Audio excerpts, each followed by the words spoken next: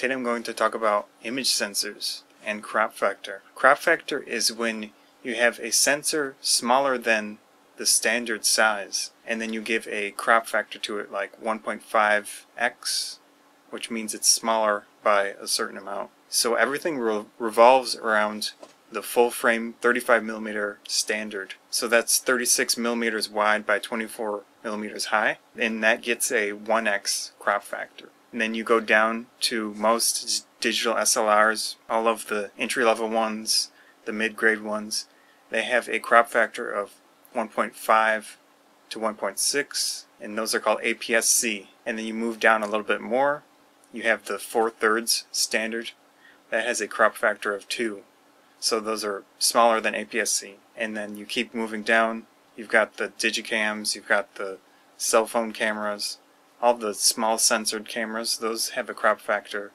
of around 4 to 6x.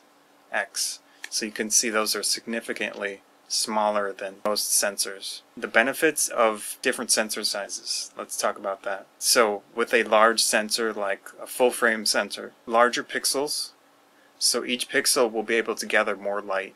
That means you've got better dynamic range, you've got lower noise in high ISO situations. So the larger pixels are generally better. Control of depth of field, which basically means the amount of sharpness defined mostly by your lens's aperture, how large or wide that opening inside your lenses at control of the depth of field you can get thinner depth of field with a larger sensor let's say for example you have a small digicam notice it's really difficult to get the blurred backgrounds but if you use a full frame camera it's very easy in comparison so that's a benefit of the large sensors number of pixels you can generally have more pixels in a larger area that's not really true with some digicams they try to shove as many pixels as possible into those tiny sensors.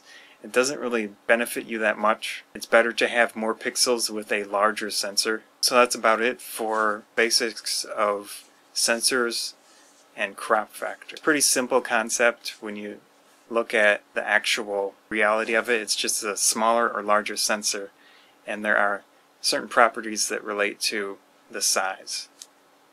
Thanks.